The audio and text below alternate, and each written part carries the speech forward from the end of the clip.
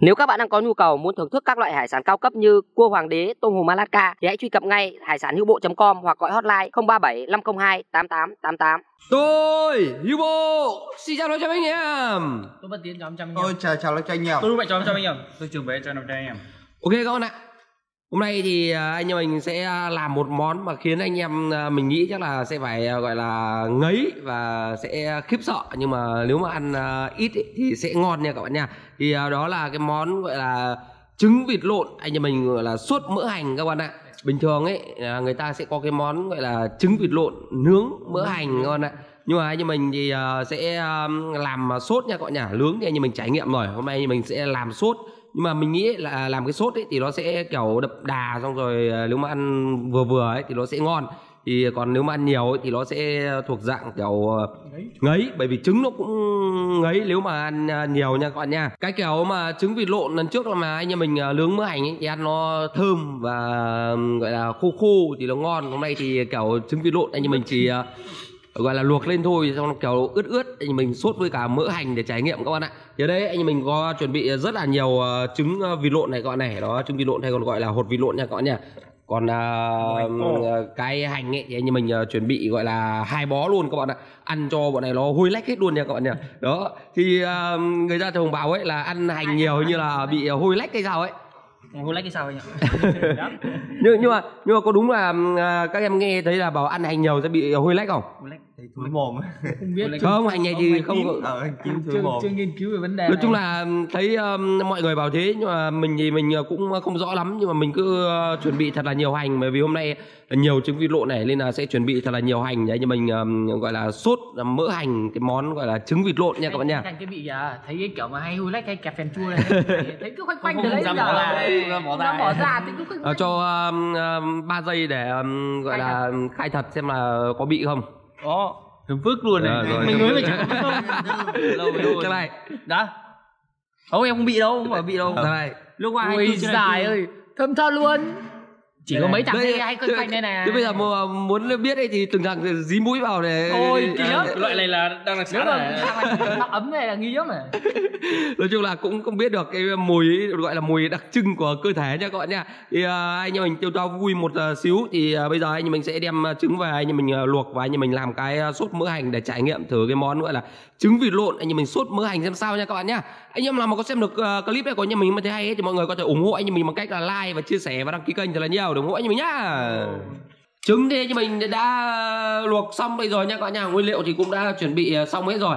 Tiến nó đang ờ, gọi là bắc chảo để nó gọi là nấu mỡ lên nha các bạn nhà mỡ này các bạn này đây là mỡ ờ, heo nha các bạn nhà nó bình thường là cũng uh, ở quê mình ấy thì là trước là hay ăn uh, mỡ nhưng mà bây giờ chuyển sang dầu. Nhưng mà dạo này uh, không uh, hiểu như nào mẹ mình lại chuyển sang uh, dùng mỡ rồi các bạn ạ. Dài đợt vừa rồi nhà em chín ba con lợn Ờ, mỡ ở đấy giờ nhưng mà nhưng mà mấy anh dạo này hay dùng ờ, mỡ không dùng ờ, dầu nữa. ăn cái kiểu nó ăn ăn nó quen cái vị ngày xưa ấy cái mỡ này mà ăn với trộn với cả cơm. Với ừ. đúng rồi là cứ gọi là hết bài luôn nha các bạn nha. Đây những quả trứng vịt lộn thì thằng mạnh nó đang đập ra đây rồi cái nguyên liệu của anh em mình ấy thì anh em mình còn chuẩn bị ờ, gọi là rất là nhiều ờ, hành này các bạn này rồi nguyên liệu rác những thứ bạn ạ. Rồi ớt vào đây nó Cho hết luôn. Đấy mình cho ớt cay vào các bạn này. Rồi. Ờ, tí uh, cho nhiều nhiều vào cho đậm đấy mà tí anh mình đỡ phải chấm nha các bạn nha đỡ đi không bởi vì anh mình cho rất nhiều hành nha các bạn ạ. Lửa cái bát ờ, gọi là hành này các bạn ạ. Cái bát này gọi là cái chậu các bạn ạ. Lửa cái chậu hành. Rồi ờ, anh mình cho thêm bơ này các bạn này bơ để cho thơm nha các bạn nhỉ. Tí là ăn anh em ăn béo ngậy luôn. Em cũng vét hẳn một cục to ra. Cái bơ này ấy, thì tí ờ, dầu nóng ấy thì mình ờ, dội vào là nó sẽ tan nha các bạn nha đó. Thì ờ, cái nguyên liệu để anh mình ờ, tí uh, rác rác vào. chứ đây là mình ờ, có chuẩn bị gọi là lạc này các bạn này. Đấy. Rồi ờ, gọi là hành ờ, phi nha các bạn nha nói chung là cái món ờ, trứng vịt lộn sốt mỡ hành của anh như mình ngày hôm nay ấy thì nó sẽ gồm có mỡ hành này xong rồi có lạc và có hành phi. Nói chung là đầy đủ những cái ừm, nguyên liệu thơm ngon các bạn ạ. Đây thì cái ờ, chảo dầu mỡ này ấy, tí nữa.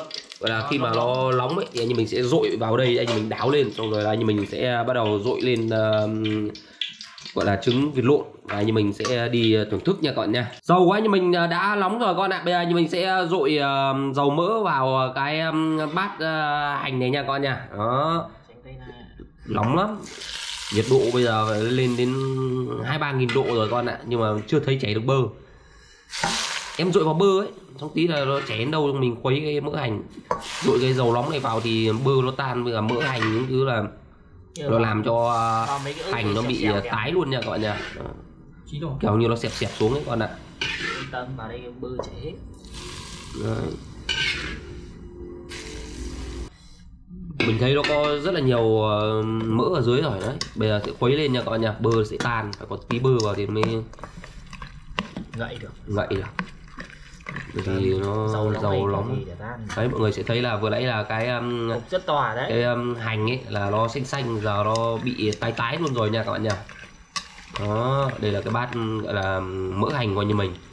Nó rất là nhiều. Bây giờ thì anh mình sẽ um, gọi là đem lên để um, gọi là dội lên um, những quả trứng vịt lộn rồi anh mình sẽ thưởng thức nha các bạn nha Bây giờ thì anh mình sẽ uh, gọi là dội uh, mỡ hành và gia vị uh, những thứ lên những quả trứng vịt lộn này để bắt đầu thưởng thức cái món gọi là trứng vịt lộn uh, sốt mỡ hành nha các bạn nha.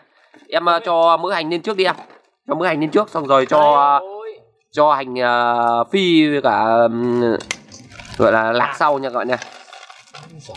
Đấy, bắt mỡ hành này các bạn này. Đấy, rồi là dội lên đi em.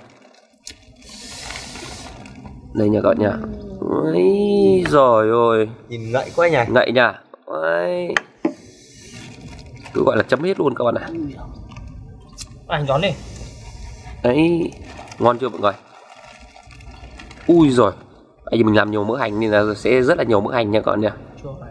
Đẹp rồi. Ôi rồi. rồi đấy rồi. giờ kia bắt đầu cho hành phi với cả gọi là à, lạc lên đi Giòn giòn anh ạ.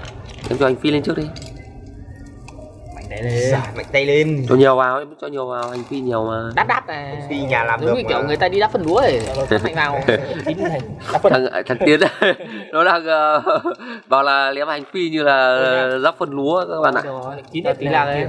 đấy cho lạc lên Đắt mạnh lên. Chơi người Trời ơi. đây đây ai ai ai ai ai đôi đôi trời làm lại kiểu như nào Nó hết chỗ lạc rồi. ai ai ai ai ai nói chung là, là, là ném kiểu rơi hết đấy đôi trẻ đấy nói chung là để chia chia chia chia ờ, ra một xíu thì ờ, đây là cái món gọi là ờ, trứng vịt lộn gọi là sốt mỡ hành ờ, gọi là hoàn chỉnh của anh em mình nha các bạn nha không biết là mọi người ờ, thấy như thế nào nhưng mà mình nhìn thấy là rất là ngon này các bạn này đó.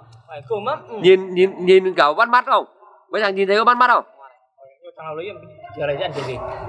Kìa to thật. thì ờ, ăn trứng vịt lộn nhưng mà bọn nó mang cái thìa bé xíu ra nha các bạn nhá thì ờ, ở kia ấy mình có chuẩn bị ờ, cho anh em ít ờ, hành ờ, cố nữa các bạn ạ. Hành ờ, vừa nãy cắt ờ, ra nhưng mà không dùng đến cái ờ, hành ừ, đoạn cố ấy. Thì ờ, thằng nào mà cảm thấy ăn nhiều hành như này mà chưa đủ ờ, lên ờ, nồng độ của ừm, nách ấy, thì anh em có thể ờ, gọi là ừm, ăn thêm ờ, hành cố nha các bạn nha. À, bây giờ thì ờ, sẽ bắt đầu thưởng thức cái món ờ, trứng vịt lộn sốt mỡ hành của anh em mình nào nào thằng nào trải nghiệm đi Ê, anh em ơi.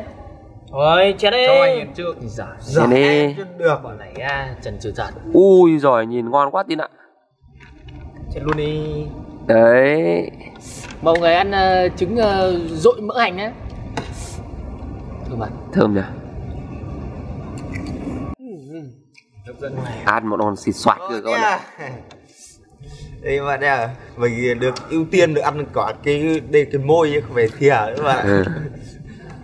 Ủa gọi là Uhm. Đi em rồi. Uhm. Ngon ngon. với tất cả mọi người nha ừ ngon ngon cứ Ngon, um, ngon, ngon. hành um, thôi lắc đi. Đấy, đây là con này đi. ừ. Để cho nó phun hành đi. Thấy các bạn nha. Ui giời ơi. Nhá. đấy tiện tay là rắc lên thêm cho nó ngon đấy Em em mời các bạn nha. Trông ngon quá. Không vừa mồm nhỉ. à thế nó mang cái thìa ấy lên em vẫn có thể xúc được quả trứng là được rồi vừa lấy nó bỏ bé sợ nó bé quá không xúc được trứng các bạn ạ Ừ, ừ, ừ. Ngon Ủa, ăn cơm thế cho anh mượn thìa. ừ. anh nghĩ là do căn bản là do cái mỡ và cả cái bơ ấy đỡ lên. Ừ. Thìa bé nó trứng nó chỉ được gần đấy thôi. Thế. Cá luôn đi. Có mồm bé. Đùa đậm ngon đây múc vào nhá anh nghĩ là sẽ khác lạ với bình thường mà anh em ra ờ, tiệm ăn ờ, trứng ờ, gọi là trứng ờ, lộn luộc đấy. À. vào đây luôn nha thì đây luôn nha. Hết rồi Ui. giời. phải biết. Đấy. Ừ, mồm mình rộng thế. Nào, đâu em. chờ đâu có làm phát đâu không? Cho full nha. Ui ngậy ê ui rồi. Hành hành thêm cái kiểu nữa này cho nhiều cái bình cho nó ngại thế không biết là đôn trà thích ăn hành thật hay là không nhưng mà mình thấy mạnh nó cho đôn trà rất là nhiều ờ, gọi là Đấy, nó là cả cú này hành nha gọi nha đấy được rồi. Đấy ăn xong đi xong ăn của hành kèm sau đừng cho thế. Trứng là bị bệnh rồi nhưng mà người ta ăn vẫn vẫn ăn vào để trị đúng không? đúng rồi. Nhìn các bạn đầy đủ topping.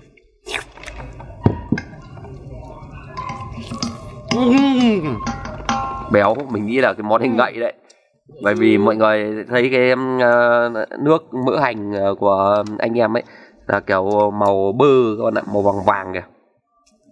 Hôm nay là món rất là béo rất là nhiều chất nha các bạn nha. Rồi ngon được ngon. Làm quả. ừ, cái quả. món này ngon. Mình ăn mỡ hành mỡ hải sản đi anh ăn ăn mỡ miếng hành em cái. Trứng. Viêm um, hoành á cho hôi lách ngon. cho hôi lách đi Ừ, chả bé quá dụng hết rồi À, đắp Ê. bộ một tình luôn. giờ đắp bao nhiêu nó rơi hết rồi chả nó bé anh ạ Ui, à, ăn ăn chưa tê tê không không ăn tí ăn kẹp sau lên mọi người nha ừ. giống như gì nhỉ không biết gì ừ. Ừ. vậy Nhìn thấy luôn nhưng mà đắp cao cao và ăn ngập mồm á. Ừ. thành công quá nhỉ ừ. đúng rồi nào anh em cho mọi người biết cái hương vị của cái món ờ, trứng vịt lộn mà sốt mỡ hành hôm nay nó như nào nào. Ăn ăn kiểu ướt để nó ăn kiểu nó dễ ăn với cả nó ăn nó cảm giác là hành này nó thơm hơn ăn kiểu hành nướng và hành ấy. Ăn cảm giác nó sướng mình kiểu ăn bình thường ờ, ăn cái bình thường cái món mà người ta nướng mỡ hành ấy thì sẽ có hàu này. Cá. Cá. Cá có cá nướng mỡ hành như nào mà. Cá nào nướng hành. Mới nói chung là những cái con hải sản như ốc ốc những thứ ấy con ạ. thì người ta sẽ cho nướng mỡ hành. Nhưng mà hôm nay là anh em mình chơi quả trứng vịt lộn anh em mình luộc lên anh em mình ờ, sốt mỡ hành để anh em trải nghiệm độc lạ ở Bình Dương một tí nha các bạn nha. Tí luôn hôi lách các bạn ạ. Ăn đi hôi lách. Anh em nào ăn được cái uh, củ hành sống kia ăn cay cay cũng ra gì phết đấy nói chung là bởi vì cái món này hôm nay ấy, nó sẽ béo nên là mình ờ, để lại cái ờ, cọng hành ấy cái ờ, củ hành để cho anh em ăn để cho nó cay cay cho nó bớt ngấy đấy. Chứ không- phải là chứ không phải là không có mục đích đâu nha các bạn nha. Nói chung là hai cái bó hành ngày hôm nay ấy là đều có mục đích hết. Quả này cái đẹp quá. Hiểu không? Nhiều hành. nhiều hành với nhiều ớt đẹp các bạn ạ. Ngon. Tiến này cho ít um, mỡ mỡ mỡ mỡ hành này thì hành thôi không cho ít bơ. Wow đắp lên mất giọng luôn. Mất giọng luôn à? Ngon nhức lách luôn. Ngon hôi lách luôn. Ừ. Ờ, mình thích bùi bùi một tí các bạn ạ.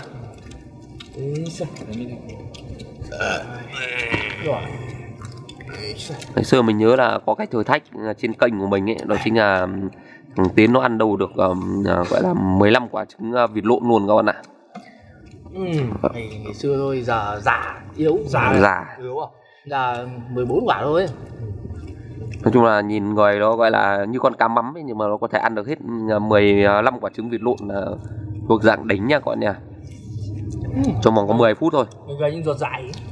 10 phút thế mọi người 10 phút anh em nào ờ, không tin có thể tìm lại cái video ờ, của anh em mình thử thách ăn ờ, trứng vịt lộn ấy là mọi người sẽ thấy thằng tiến nó gọi là người nó toàn xương sấu thôi nhưng mà trong 10 phút là nó có thể ăn được hết 15 quả trứng vịt lộn nha các bạn nha.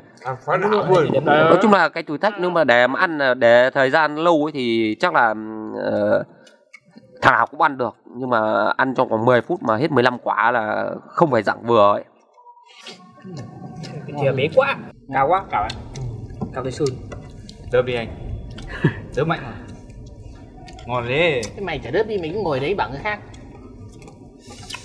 Ừ, miếng quả. Quả đẹp các bạn. Thôi rồi. Ngậm mồm luôn. Ừm. vậy ăn này thừa chất các bạn. À.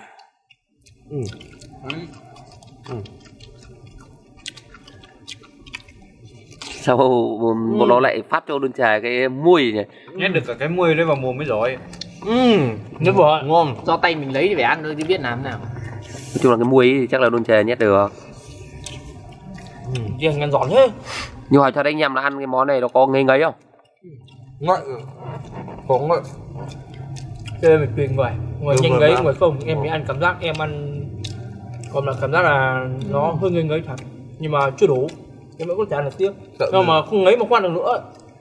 Nhưng mà nhiều người người ta chỉ ăn được một hai quả là ngấy Đúng rồi.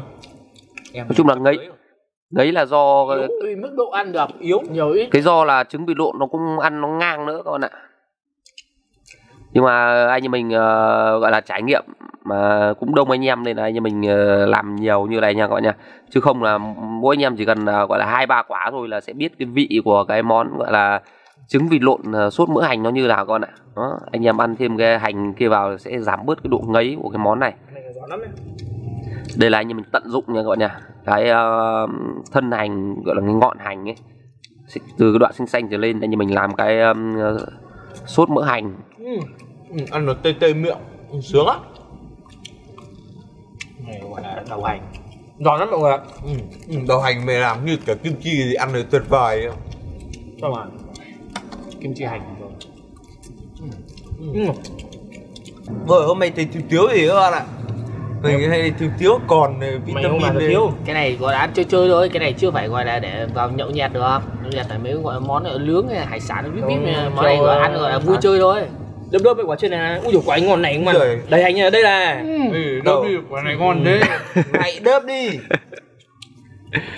Ngon chả đớp đi. Này anh không?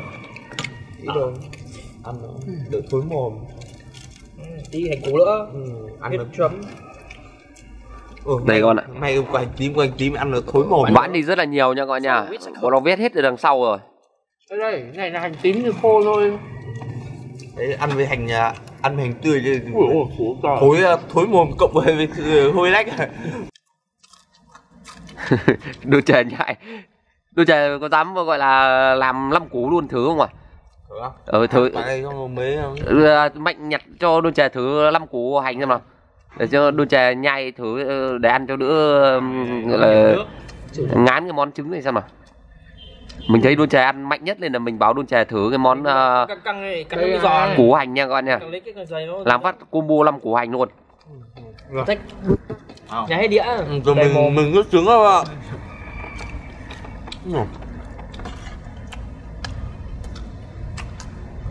Ừ. Ừ. ăn kèm cho dễ dễ nuốt ấy. Thật luôn. Mà có năm củ luôn. Nói chung là không phải ai cũng ăn được cái củ hành này nha các bạn nhà nó đắng ấy. Từ người. Nó hăng. Nhưng người ta người ta phải chặt Ừ. ăn được. À mấy bạn nào Ui. Ôi. Chứ chứ bò này dơm trong này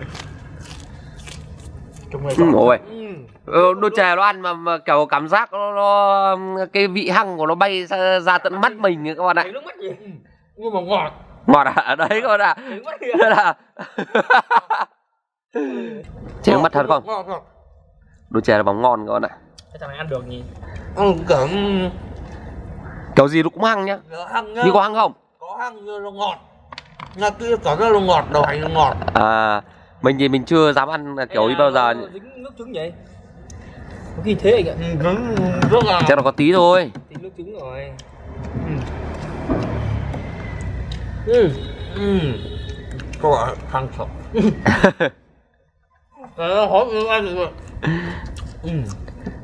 nhưng mà lại bảo là ngọt nha các bạn nha. Dụ. Ừ. Ừ. không phải không các anh chẳng có tài để học tôi Lẻ gì chảy nước mắt lẻ đâu để, để cho mọi người xem là có chảy nước mắt thật không?